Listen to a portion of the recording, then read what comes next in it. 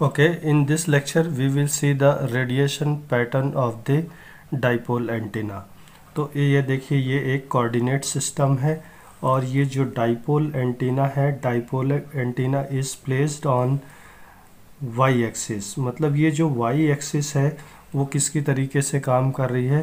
Axis of the dipole antenna तो देखिए dipole antenna is connected with transmission line and it is connected with source तो यहाँ पे frequency और lambda लिखा हुआ है तो that frequency is known as operating frequency and lambda is known as operating wavelength तो डी क्या है? इसका डायमेंशन है मैक्सिमम डायमेंशन है।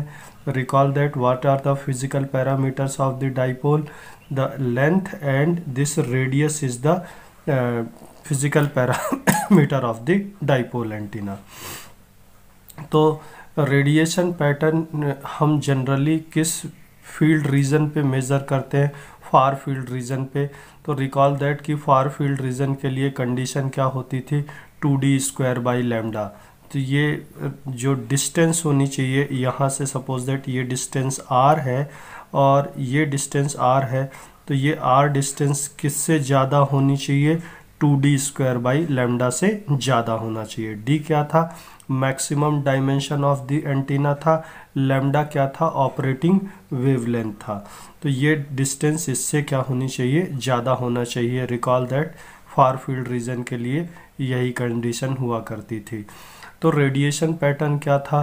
Radiation pattern is nothing but it's a trace of field intensity. Which is the function of directional coordinates तो theta और phi क्या थे? डायरेक्शनल कोऑर्डिनेट्स थे आप मेरा वीडियो लेक्चर देख लेना रेडिएशन पैटर्न का, कि radiation pattern we generally measure in the far field region what is the condition of far field region that is two D square by lambda what is D D is the maximum dimension of the antenna lambda is nothing but it's operating wave theta and phi are the directional coordinate recall that what was the theta this is x axis y axis and z axis ये एक r distance है ये क्या ये line Z axis से कुछ angle measure कर रही है हाँ कुछ एंगल बना रही है। That angle is known as theta इसी को हम एलिवेशन एंगल बोलते थे। थीटा का रेंज कहाँ से कहाँ हो सकता है? ज़ीरो से लेके पाई डिग्री तक। इस लाइन को, इस पॉइंट को आप यहाँ पे प्रोजेक्ट करेंगे नीचे की तरफ़। तो ये कौन से प्लेन पे मिलेगा? एक्स वाई प्लेन पे। आप इस पॉइंट से लेके यहाँ तक एक लाइन ड्रॉ करिए। And that that line is making some angle with with x axis and this angle is known as phi phi का इसको कौन सा एंगल बोलते हैं? एजीमुथल एंगल बोलते हैं। इसका जो लिमिट कहाँ से कहाँ हो सकता है? ज़ीरो से लेके टू पाई तक हो सकता है। थीटा को क्या बोलते हैं? एलिवेशन एंगल कहाँ से मेज़र करते हैं? जेड एक्सिस से मेज़र करते हैं। और फाई कहाँ से मेज़र करते थे? एक्स एक्सिस से मेज़र करते थे।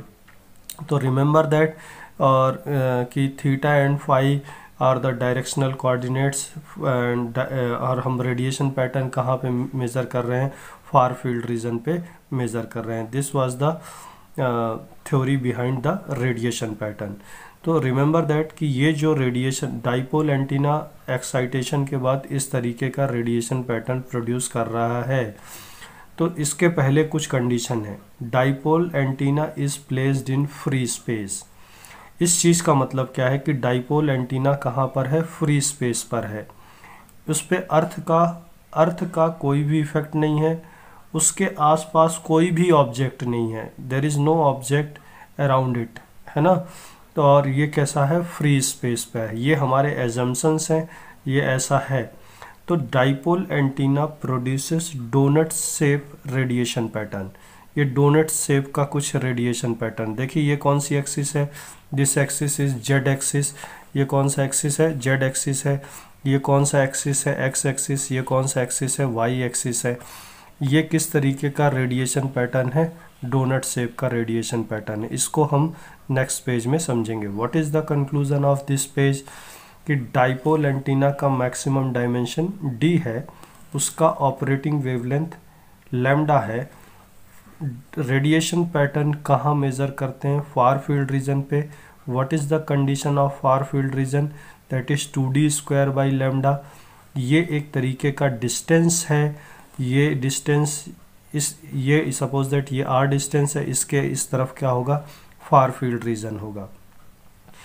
डाइपोल एंटीना में जो बात करते हैं रेडिएशन पैटर्न की, यदि बेसिक डेफिनेशन देखा जाए तो radiation pattern is nothing but it's a trace of field intensity which is the function of directional coordinate theta and phi theta is always measured from Z axis और इस angle को बोलते हैं elevation angle और phi is measured from X axis इसको angle को क्या बोलते हैं? Azimuthal angle this is the conclusion of this page okay let's see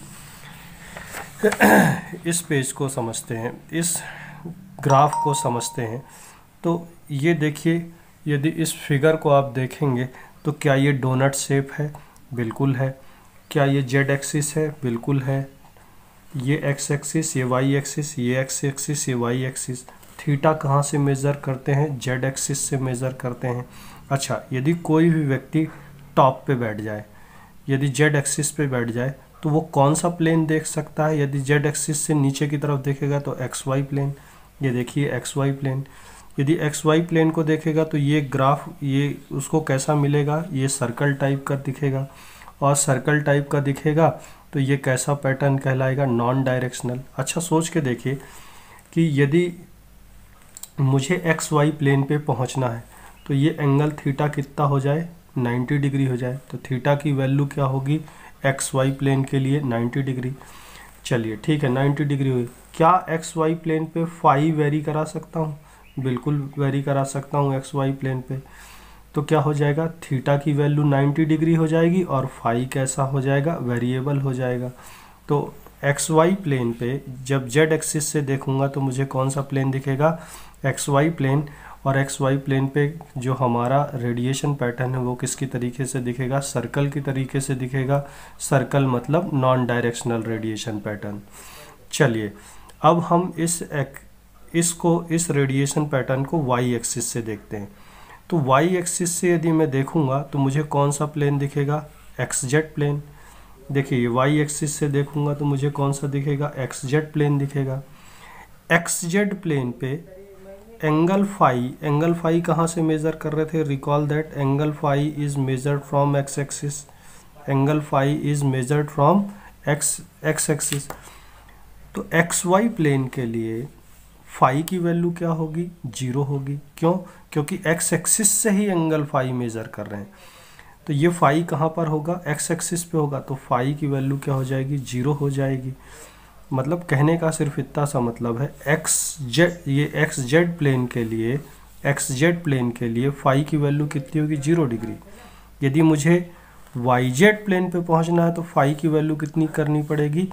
90 degree करनी पड़ेगी। चलिए, ठीक है। यदि मैं किस प्लेन पे आ गया? एक्स जेड प्लेन पे आ गया। एक्स जेड प्लेन पे मेरा फाई की वैल्यू क्या है? फाई की वैल्यू क्या है? ज़ीरो डिग्री है। क्या एक्स जेड प्लेन पे थीटा वेरी कर सकता हूँ? बिल्कुल वेरी कर सकता हूँ। थीटा को कौन सा एंगल कहते हैं? एलिवेशन एंगल तो यदि मैं इस इस रेडिएशन पैटर्न को वाई एक्सिस से देखूँगा तो मुझे हाफ़ ऑफ़ द एट इस तरफ़ दिखेगा और हाफ़ ऑफ़ दी एट उस तरफ़ दिखेगा। कुछ ऐसा दिखेगा। अच्छा इस प्लेन पे खास क्या क्या खास बातें निकाली? कौन सा plane X Z plane phi की वैल्यू ज़ीरो क्या थीटा वेरी करा सकता हूँ इस प्लेन पे? बिल्कुल वेरी करा सकता हूँ। थीटा को कौन सा एंगल कहते हैं? Elevation angle. तो ये जो पैटर्न होगा, वो क्या, कैसा पैटर्न कहलाएगा? एलिवेशन पैटर्न कहलाएगा। क्या ये सर्कल जैसा है? नहीं। क्या ये एट शेप जैसा है? हाँ। क्या ये डायरेक्शनल है? हाँ। बिल्कुल है। चलिए, अब हम इस रेडिएशन पैटर्न को एक्स एक्सिस से देखते हैं। तो ये रेडिएशन पैटर्न यदि मैं एक्स एक्सिस से देखूँगा तो मुझे कौन सा प्लेन दिखेगा? Y Z plane. Y Z plane पे यदि मुझे पहुँचना है तो फाई की वैल्यू कितनी करनी पड़ेगी? फाई की वैल्यू फाई की वैल्यू मुझे 90 डिग्री करनी पड़ेगी। 90 डिग्री कर दिया, चलिए। क्या वाई जेड प्लेन पे थीटा वेरी करा सकता हूँ? बिल्कुल वेरी करा सकता हूँ। थीटा को वेरी करा सकता हूँ। मतलब क्या बात समझ में आई? कि वाई जेड प्लेन पे, इस वाई जेड प्लेन पे मेरा फाई का वैल्यू 90 डिग्री होगा। और थीटा क्या होगा? वेरिएबल होगा। चलिए, इसको एक्स एक्सिस से देखते हैं। एक्स एक्सिस से कैसा दिखेगा? आधा हाफ़ ऑफ़ दी एट इस तरफ़ दिखेगा हाफ़ ऑफ़ दी एट उस तरफ़ दिखेगा। देखिए ऐसा। इसमें वेरिएबल क्या है? थीटा वेरिएबल थीटा क्या है? वेरिएबल है। अच्छा क्या बात समझ में आई? थीटा कौन सा एंगल है? एलिवेशन एंगल है। तो क्या मैं थीटा को वेरी करा रहा हूँ? हाँ तो ये पैटर्न कैसा है? ये कौन सा पैटर्न कहलाएगा? एलिवेशन पैटर्न कहलाएगा। तो आपको एलिवेशन पैटर्न क्या सर्कल जैसा दिख रहा है? नहीं। एलिवेशन पैटर्न आपको कैसे दिख रहा है? एट से मतलब डायरेक्शनल टाइप का पैटर्न दिख रहा है। क्या बात समझ में आई? यदि मैं जेड एक्सिस से देखता हूँ तो मुझे क्या दिखता है? सर्कल दिखता है। यदि मैं जेड एक्सिस से देखता हूँ तो मेरे को थीटा कितना करना पड़ेगा? 90 डिग्री और फाइव वेरिएबल करना पड़ेगा। पैटर्न कैसा दिखा? सर्कल और इस, इसमें क्या वेरिएबल है? फाइव वेरिएबल है। ये फाइव वेरिएबल है। मतलब ये जो चीज़ वेरी कर रही, क्या वेरी कर रही? फाई फाई का नाम क्या है? एजीमुथल एंगल तो ये जो एजीमुथल एंगल और तो इसी को, इस प्लेन को हम क्या बोलेंगे? एजीमूथल प्लेन भी बोलेंगे। अच्छा यदि मैंने वाई एक्सिस से देखा तो क्या मिला? एक्स जेड प्लेन मिला। एक्स जेड प्लेन पे फाई की वैल्यू कितनी है? फाई ज़ीरो है। थीटा वेरिएबल है। थीटा को कौन सा angle? Elevation angle. Theta vary कर रहे हैं मतलब ये पैटर्न क्या कहलाएगा? Elevation pattern. वाई एक्सिस से देखूँगा, हाफ़ ऑफ़ दी एट इधर दिखेगा, हाफ़ ऑफ़ दी एट उस तरफ़ दिखेगा, ऐसा दिखेगा। यदि एक्स एक्सिस से देखूँगा तो मुझे कौन सा प्लेन दिखेगा? वाई जेड प्लेन दिखेगा। वाई जेड प्लेन के लिए फाई की वैल्यू कितनी? 90 डिग्री। फाई की value 90 degree. Theta variable.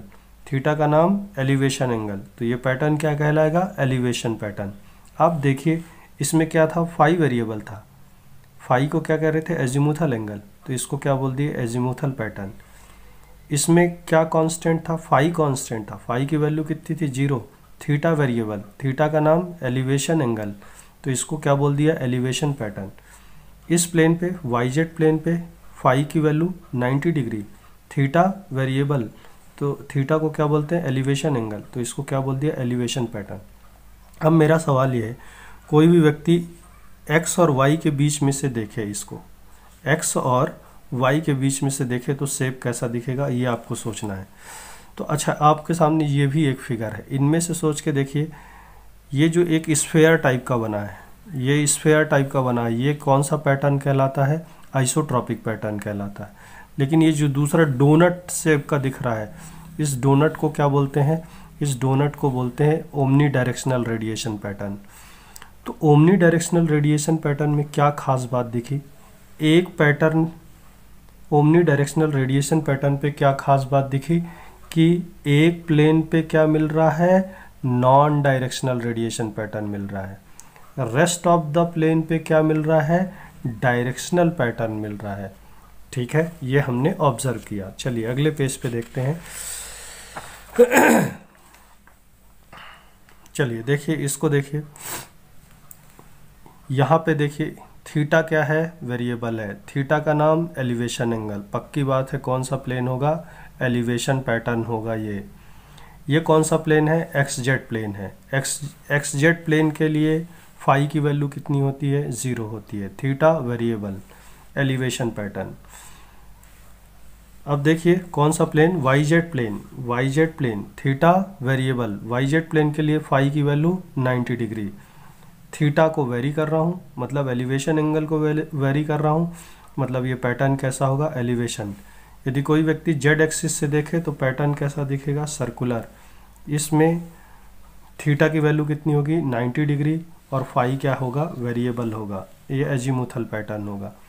यदि कोई व्यक्ति एक्स, वाई के बीच से देखे तो भी सेप आपको कैसा दिखेगा? एट यदि इस पॉइंट से देखे तो भी एट इस पॉइंट से देखे तो भी एट यहाँ से देखे तो भी एट उसके पीछे से देखेगा तो भी एट हर जगह से ये कैसा दिख रहा है? मुझे एट दिख रहा है। तो मैं क्या ऐसा बोल सकता हूँ कि कितने एलिवेशन पैटर्न पॉसिबल हैं? यहाँ से देखूँगा एट यहाँ से एट यहाँ से एट यहाँ से एट यहाँ से एट यहाँ से एट यहाँ से एट यहाँ से भी एट यहाँ से यहाँ से। हर जगह से मुझे क्या दिख रहा है? एट दिख रहा है। तो कितने एलिवेशन पैटर्न पॉसिबल हैं? Infinite number of elevation pattern possible हैं। लेकिन जेड एक्सिस से देखूँगा तो मुझे सिर्फ़ और सिर्फ़ क्या दिखेगा? एक सर्कल दिखेगा। तो infinite number of elevation pattern possible है और एक एजीमुथल पैटर्न पॉसिबल है। खास बात क्या ऑब्ज़र्व करना है कि एक प्लेन पे नॉन डायरेक्शनल है रेस्ट ऑफ़ द प्लेन पे डायरेक्शनल है, दोनों के कॉम्बिनेशन से क्या प्रोड्यूस होगा? Omnidirectional radiation pattern produce होगा। तो चलिए इस लेक्चर को समराइज करते हैं कि डाइपोल एंटीना में जो रेडिएशन पैटर्न है, वो कहाँ मेज़र करते हैं? तो radiation pattern is measured in the far field region पहली बात। फार फ़ील्ड रीजन के लिए क्या कंडीशन है? फार फ़ील्ड रीजन के लिए सिर्फ़ एक कंडीशन है, two D square by lambda. D क्या है? मैक्सिमम डायमेंशन है। डाइपोल कैसा रेडिएशन पैटर्न प्रोड्यूस करता? है डोनट शेप डोनट शेप का रेडिएशन पैटर्न प्रोड्यूस करता है। थीटा कहाँ से मेज़र करते हैं? जेड एक्सिस से फाई कहाँ से मेज़र करते हैं? एक्स एक्सिस से। जब ये रेडिएशन पैटर्न मेज़र किया गया है तो हमने कुछ एज्यूम किया है कि ये रेडिएशन पैटर्न फ्री स्पेस पे है। अर्थ का कोई इफ़ेक्ट नहीं है। किसी भी ऑब्जेक्ट का कोई भी इफ़ेक्ट नहीं है। तो आप देखिए एलिवेशन पैटर्न क्या कहलाता है? एक ऐसा पैटर्न जिसमें थीटा वेरी करे। एक ऐसा पैटर्न जिसमें फाइव वेरी करे तो एजिमुथल पैटर्न कितने number of elevation pattern possible हैं? Infinite number of elevation pattern possible है। एलिवेशन पैटर्न पे रेडिएशन पैटर्न कैसा दिख रहा है? डायरेक्शनल एजिमुथल पैटर्न पे जो रेडिएशन पैटर्न दिख रहा है नॉन डायरेक्शनल दिख रहा है। तो non directional plus directional will produce omnidirectional तो your uh, dipole antenna produces omnidirectional radiation pattern which looks like a donut. Remember that there can be infinite number of uh, elevation patterns are possible while one azimuthal pattern is possible. Remember that your uh, radiation pattern is measured in the far field region under some condition. That conditions are they that radiation pa pattern is measured in the free space. There is no effect of earth and surrounding objects. Thank you very much. In next lecture we will see the next part of the dipole antenna. Thank you